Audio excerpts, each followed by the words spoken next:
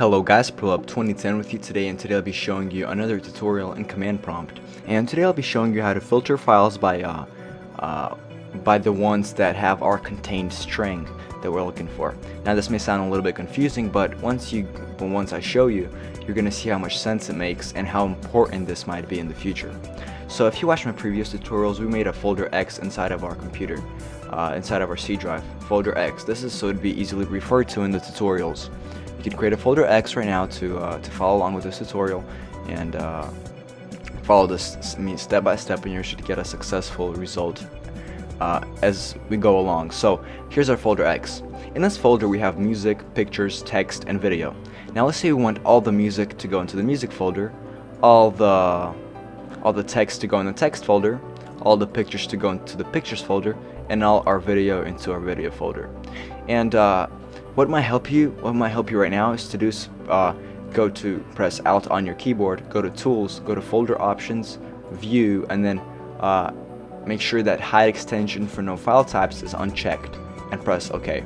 It's gonna be help you to, to refer to what kind of picture it is, a JPEG, the file extension basically. So what we're going to do in this tutorial is send each file according uh, to their format to the folder they should be in.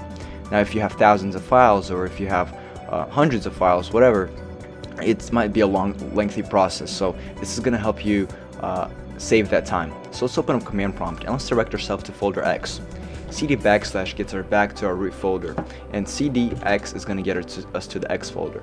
Now here's where all our files are located. You can press dir and press enter and it's going to give you the list of all the files that are currently in our uh, folder. What you want to do now is uh, you want to type in uh, move or any kind of command for the specific uh, well let me just show you. Let, us move. Uh, anything that you got to do an asterisk. Asterisk anything that contains and and this is where you type in what you want the string to contain.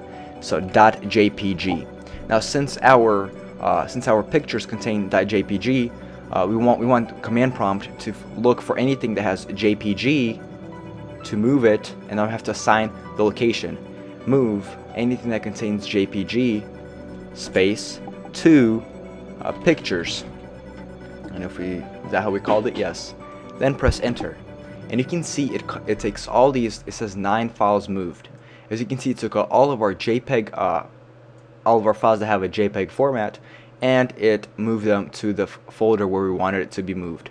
Now let's do the same thing to the audio. You would do move anything that contains .mp3 to music. Enter. And as you can see now, nine files have been moved. And if we go over here, you can see that our pictures and our audio is now gone from the folder. Now you're going to do the same thing for every other for, for every other thing. So let's do move anything that contains a .txt to text and then move that and let's move anything that contains .mov to video. I think it's called video or video, yeah and press enter. And as you can see all files have been moved. And if we go back to our original folder X, you can see that all the files are organized to whichever folder they belong.